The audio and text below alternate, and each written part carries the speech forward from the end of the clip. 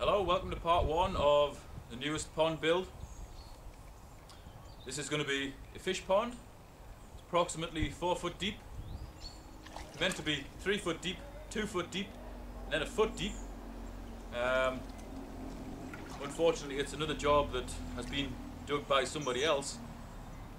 That pile of soil that came out of the hole was meant to be right up to the side of this pond as well for the cascade Unfortunately, we're going to have to move that by hand. So it's right next to the pond. But um, it's not going to take too much doing. Because this pond's a fairly simple fish pond, we've just got a shelf around here, approximately six to nine inches deep. It's been cut out reasonably well with a digger. Uh, now we've got a four foot hole in the middle here supposed to be three foot and then two foot and then going up to a foot but it's just kind of a, a long slope. So that'll be to sort out but it's not the end of the world. And then there's that big pile to shift. So we'll get a video as soon as we've done that. That's the sides just about sorted. Cleaned up these uh, shelves one round the side there. Nice clean sharp edges we've added steps. So we've got one here going down one here going down one here going down. And there's another one under the water here which we're going to pump out now. Uh, we started building that heap up a little bit. All that stuff in the front of the heap came out of the hole. That should have really come out whilst it was being dug. It just shows you how much more stuff should have come out. We've still got the heap to sort out and the bottom of the pond to pump out to get that done, we'll stick the underlay in. That's it pretty much pumped out now. There's a little bit of water still in the bottom, but it'll be right. You can see the extra two shelves that we had submerged before. Doesn't really need those shelves in, I suppose, but just gives you somewhere flat to put lilies. So if you buy lilies from the shop, they generally need to be stepped down, so you'd, you'd maybe put them here when you first bought them, leave them a week, step them down, step them down, then finally put them in the bottom, you know, after four or five weeks. So that's the hole ready. And now we're going to put the underlay in.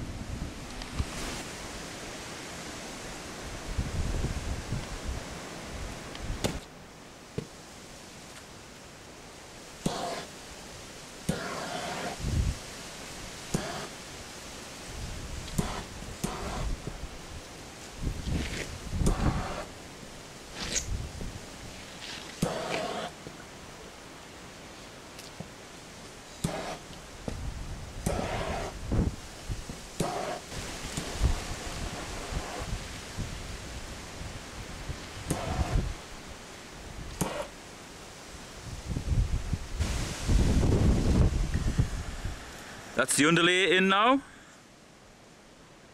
Even though it's windy, it's staying buttoned down in position. We've fused all the parts of underlay together with the heat gun and put weights around the edges. Stop the wind getting underneath and lifting it all out like a parachute. This is the liner. It's one mil thick rubber and we're just going to roll that down into the pond long ways on and then open it out.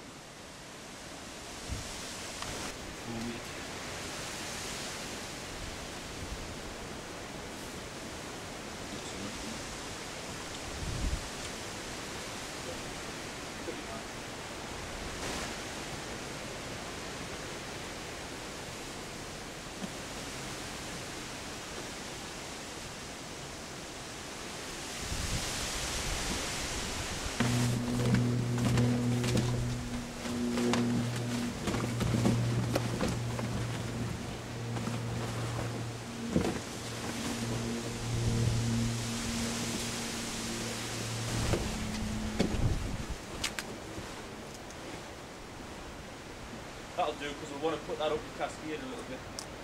And then we'll just pull it this way.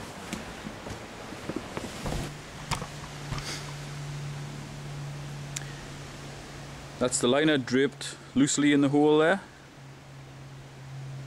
Now all we've got to do is chuck the hose in, start it filling up, and as it's filling up, we're going to shift this muck pile to where it should be. See the steps here? Bang, bang, bang. As the water fills, we'll go around and we'll pull the sides and so on and get the folds where they want to go, but it's really something that has to be done as it's filling up. There's no point going in there trying to make everything look neat now because the water will push it wherever it wants to go.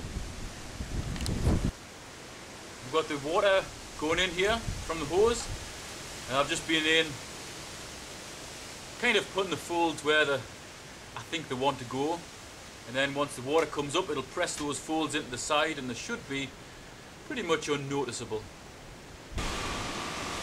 Pond's just about full now, perhaps four to six inches before it reaches the shelf. Want to keep the shelf dry, I'm going to cement these stones on around this shelf, possibly later today. This is the cascade, dug out of the soil pile. Basically just made various steps at different angles. Cut back into the existing soil here just to take the liner from the pond so then the cascade liner will lap over that. The important thing to note is the height of these sides. The, the height of these sides is much higher than where the water is going to be. Notice that both sides? Way higher than where the water is going to be. So you're going to have your water coming over here, over here. The liner will go right up these sides and even with a bit of splashing there's no way the water can leak.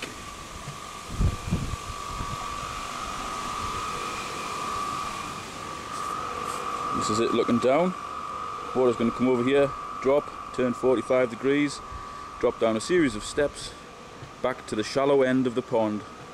Quite important that it's going to the shallow end, this end, because your deep water here, in the winter, that's where your fish are going to hibernate, so they're going to be reasonably warm in that deep bit. If you pumps in here, it pumps the warm water out, chills it, and it freezes the pond, knackers the fish.